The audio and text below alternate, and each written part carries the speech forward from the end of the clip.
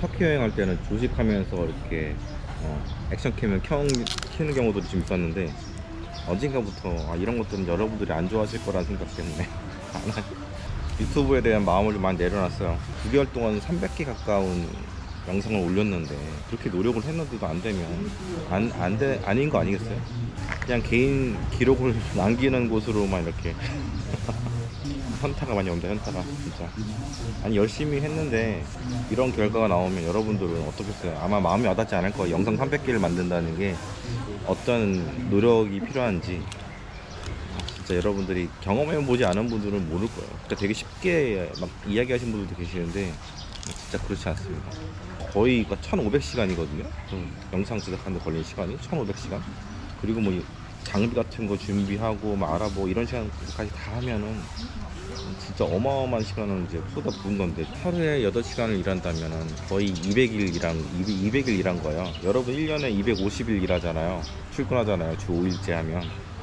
저는 1, 년 내내 일하고 나서 이런 결과를 그것도 돈을 써가면서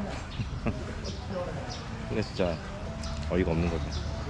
뭐 1년 버리고 그리고 뭐 천만 원 이상 버리고 그리고 눈 나빠지고 허리 나빠지고 그러니까 현타가 안 오겠습니까? 그리고 뭐 정신적인 그런 그런 거 있잖아요. 막 아, 스트레스 이런 거. 되게 사람들이 보면은 쉽게 말을 해. 유튜브 여러분 하지 마세요. 유튜브가 점점 점점 환경이 어려워집니다. 유튜브가 정책을 어떤 정책을 펼치고 있냐면은 좀 정화시키는 정책을 펼치고 있어요. 왜냐면 일반적인 개인 유튜버들이 워낙 막 관종들도 막 그 주작 이런 거 막 하잖아요. 막 일부러 막 거짓으로 막 짜고 치는 유튜브 이런 거. 그러다 보니까 너무 환경이 지- 지저분해지니까 유튜브가 정책을 좀 약간 공신력 있는 채널들을 밀어주기 시작했어요. 예를 들어서 방송국 채널이라든가 아니면 공인들이 하는 채널들 있잖아요. 그런 것들 그런 것들을 밀어주기 시작을 한 거예요. 그래서 그 유튜브 정책 때문에 어, 많은 개인 채널이 지금 망해가고 있어요. 여러분들이 보실 때는 주로 이제 피드에 뜨는 그 채널들이 대형 채널들이잖아요. 특히 이제 요즘에 방송국 채널들이 엄청나게 많아졌거든요. 방송국 채널들은 뭐 뉴스 같은 거 뭐 그런 것도 굉장히 많아져서 잘 못 느끼시겠지만 요즘 여러분들이 보시는 채널들이 그 비디오들이 대부분 그런 거 마- 예전보다는 많이 보지 않으세요? 1, 2년 전하고 비교해 봤을 때 그냥 그런 게 많이 띄고 눈에 확 띄니까 그러니까 그런 대로 다 쏠리기 시작을 한 거예요 이제 채널들이 그래서 저 같은 소규모 이제 비기너 채널뿐만 아니라 그 외 수많은 마- 채널들이 지금 조회수가 막 격감을 하고 있더라고요. 제 구독자분들 중에서 이제 채널 운영하신 분들이 계세요. 그분들도 그런 얘기 하더라고. 아 예전보다 확실히 좀 많이 줄었다. 떡상 같은 게 없다. 이런 얘기들 하시고 예전에 뭐 창현 노래방이라든가 이런 개- 완전 그냥 개인이 하는 채널들 있잖아요. 요즘 뜨는 새롭게 뜨는 채널들이 거의 없어요. 요즘엔 어떤 게 뜨냐면은 연예인들이라든가 연예인들 브이로그 이런 거 있잖아. 이런 게 막 수십만 view 나오고 있고. 근데 그 사람들이 이제 개인 채널들 view를 이제 가져간 거죠. 우리인데 뺏긴 거죠. 그리고 축구 선수들까지도 이제 요즘에 유튜브 하니까 왜냐면 영상 하나 올리면은 몇십만 view 나면 몇백만 원씩 들어오니까 재밌잖아. 나는 그냥 고프로 켜놓고 이제 썰만 풀면 알아서 에이전시 같은 데서 다 편집해서 막 맛깔스럽게 만들어 가지고 올려 주니까 자기는 할 게 없는 거죠. 막 썰만 풀, 풀면은 그냥 돈이 몇백만 원씩 들어오니까 이거 정말 최- 최고 아닙니까? 한 달에 그것만 해도 몇 천만 원씩 벌 수 있으니까 그 유튜브를 여러분들이 그냥 한번 해볼까? 뭐 이런 생각을 하시는 분들도 계세요. 네. 정말 비추를 드립니다. 진짜 이건 이거는 마음 고생, 시간 고생, 돈 고생 이런 것들 하게 될 수밖에 없어요. 진짜 저도 이제 1년 가까이 해보니까 아 이럴 줄 알았으면 사실 이럴 줄 알았거든요. 사실 저는 유튜브를 하라는 얘기를 예전부터 진짜 많이 했었어요. 주변 사람들한테. 왜냐면 여행을 하도 많이 다니기도 하고 아 액션캠을 켜면 좀 제가 재미가 없어지긴 하는데 나름 사석에서 만나면 나름 재밌어요. 이야기도 주도하는 스타일이기도 하고 뭐 그런 거 아닌 사람이 어떻게 유튜브를 시작을 하겠어요. 유튜브가 워낙 레드오션이라는 거를 저는 몇 년 전부터 알았기 때문에 안 해왔는데 늦게 시작한 게 좀 잘못이죠.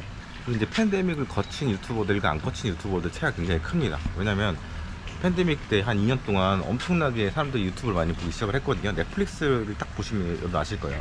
넷플릭스가 2021년도에 구독자가 줄었어요. 이게 뭐냐면은 이 팬데믹이 터지고 나서부터 이제 팬데믹이 끝나간 게 2021년부터였잖아요. 그때부터 이제 구독자들이 이제 줄기 시작하고 이제 밖에 나가기 시작한 거죠. 한국은 굉장히 강한 그 규제를 2021년도에도 했지만 제가 갔던 터키 그리스뿐만 아니라 미국, 유럽 이런 데들 동남아도 굉장히 느슨한 통제를 하- 했거든요. 그러니까 사람들이 나가기 시작하고 여행을 다니기 시작했는데 그렇다면 그 구독자들이 이제 넷플릭스가 줄어들기 시작한 거죠. 마찬가지로 넷플릭스랑 굉장히 비슷한 경쟁 업체인 경제 이제 채널인 유튜브 역시도 그런 영향을 받는 거고. 그래서 팬데믹 이전 채널들은 그래도 어, 팬데믹을 거쳐서 좀 수혜를 봤다고 보시면 돼요. 그때 엄청나게 크게 성장을 한 거고 그 이후에 나온 채널들은 정말 우후죽순 어, 저처럼 생겨나기 시작했죠. 저 같은 경우는 2021년 11월 중순에 처음 오픈을 했으니까 채널을 그래서 이제 열심히 매일 꾸준히 매일 아니더라도 꾸준히 올리면 어, 유튜브는 언젠가 된다 이런 얘기를 하시는 분들 계시는데 그 시대가 지났어요. 여러분들 약간 그러니까 사실 유튜브를 안 하시는 분들은 유튜브를 잘 몰라요. 어떻게 움직이는지 실제로 체감해 보지 않아요. 내가 노가다를 띄워, 띄워보지도 않았는데 어떻게 노가다의 생리 이런 걸 잘 알겠어요. 새참도 먹어본 적이 없고 아침에 그 다음 날 막 엄청 힘든 것도 모를 거고 그쵸? 힘들어도 나가야 되는 그 고통 이런 거 모르잖아요. 그래서 유튜브 너무 쉽게 보지 마시고요. 하실 거면 진짜 제대로. 저도 정말 제대로 하고 싶었어요. 이게 되게 힘들다는 걸 알기 때문에 어, 장비도 정말 최신은 투자를 했고 그리고 정말 열심히 매일매일 올려보고 했는데 결과가 이렇습니다. 유튜브란 게 이래요.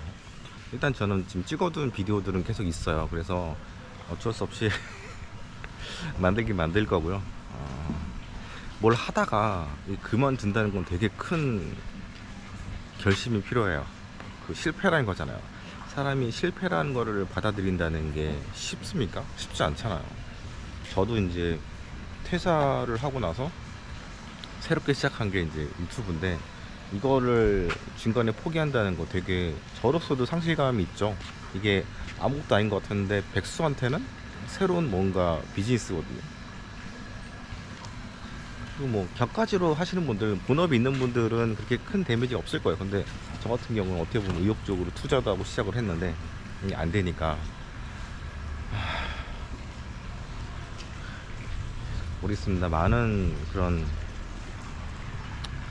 많은 생각을 하고 있고 현타도 주기적으로 오고 있고 매일 현타지 뭐. 매일 이 유튜브 스튜디오라는 앱을 통해서 어, 오늘 아침에 공, 영상을 공개를 딱 했어. 그러면 어, 지금 동시간대 얼마나 많은 사람들이 내 영상을 봐주고 있고 그 리플도 이제 실시간으로 올라오잖아요. 그럼 그거 보고 있고 그러니까 쉽지가 않은 것 같- 같아요 아 그리고 뭐 폰으로 만들어서 아마 해보라고 하시는 분도 있는데요. 폰으로 영- 여러분 영상 찍어보셨어요? 진짜 힘듭니다. 이게 흔들리기도 엄청 흔들리고 흔들리면 보정할 때 되게 힘들고요. 이렇게 사진 한번 찍는 것도 쉽지가 않잖아요 셀카로. 근데 이걸 들고 비디오 이렇게 이런 식 이렇게, 이렇게 하- 한다는 게 쉬운 게 아니에요. 저같이 이제 움직이면서 영상을 만드는 찍는 사람들은 더 그게 힘들거든요. 고프로 같은 거는 이제 흔들림 같은 거 잡아주니까 그나마 편하게 팔만 뻗어서 이렇게 녹화를 하는데 핸드폰은 정말 이렇게 닌자 스텝이라고 해서 천천히 걸어가면서 이렇게 찍어야 됩니다. 이거는 더 어려운 거고. 일단 장비들을 제가 일부 처분을 했는데, 음, 다 처분한 건 아니고요. 고프로와 카메라 드론만 남겨놨어요. 어, 사실 카메라도 지금 처분을 할까 말까 계속 고민하고 있고요. 사용 빈도도 많이 떨어지고 너무 무거워요. 이게 4kg 가까이 되니까 카메라와 렌즈 두 개와 뭐 케이스와 마이크 뭐 이런 거 다 하니까 꽤 무겁, 무겁죠. 이 쌀덩어리들을 다 들고 이동한다는 게 쉬운 게 사실 아닙니다. 그리고 제가 이제 유튜브에 대해서 별로 그렇게 좋지 않은 그런 유튜브 차분, 차분기 이걸 영상을 올리니까 그때부터 유튜브 그때부터 이제 조회수가 좀 급감을 하더라고요. 음, 이게 알고리즘이 예민하게 다 보고 있다고 해요. 그래서 그런 걸 수도 있고 아니면 여러분들이 아 얘는 접을란가 보다 해서 그런 것도 있는데 제가 알고리즘 얘기하면 다 알고리즘 탓을 한다 이런 분들도 계시는데 아니요 알고리즘이 작용을 합니다. 구글은 알고리즘이 굉장히 어, 알고리즘 먹는 회사라고 볼 수 있어요. 어차 왜냐면 검색 같은 경우에도 알고리즘 통해서 최적화 시키거든요. 모든 이 사람의 정보를 사용자 유저의 정보를 다 뽑아내서 최적화해서 광고하는 게 바로 그거를 돈, 돈 벌어 먹고 있는 게 바로 유튜브거든요 알고리즘이 진짜 중요해요. 주식시장도 마찬가지. 알고리즘이 주식시장 거래량에 적어도 일반적으로는 70%는 담당한다고 보거든요. 그러니까 진짜 이- 지금은 알고리즘 시, 시대입니다. 예. 그래서 알고리즘 탓한 게 아니고요. 알고리즘이 작용한 게 맞아요. 여러분들 보고 계시는 이 타임라인, 뭐 페북이라든가 인스타라든가 아니면은 유튜브 특히 뭐 영상 하나 다른 주제 하나 보면은 계속 그거 나, 그거 나오잖아요. 뭐 손흥민 한번 영상 하나 딱 보면 그다음부터 손흥민 관련된 게막 나오잖아요. 그거랑 되게 비슷해요. 뭐 다 제가 잘 못 나서 그런 거 아니겠습니까? 다시 현타, 현타의 시간입니다. 저는 이제 비행기 시간이 이제 다가와서 어, 접고요. 다음 영상으로 어, 찾아뵙도록 하겠습니다. 여러분 유튜브 많이 하신다면은 제가 어, 드렸던 말씀들, 조언들 잘 참고해 주셨으면 좋겠습니다. 감사합니다.